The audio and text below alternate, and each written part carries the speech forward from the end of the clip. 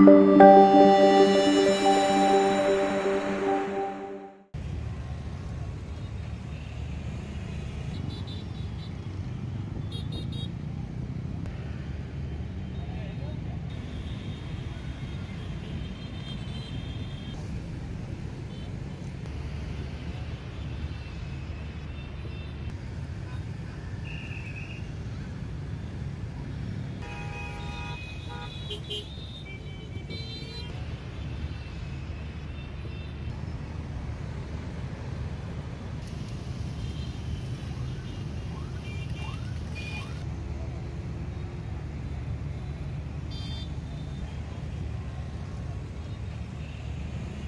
Đăng ký ngay kênh YouTube báo pháp luật thành phố Hồ Chí Minh, trợ thủ đắc lực của người dân và doanh nghiệp.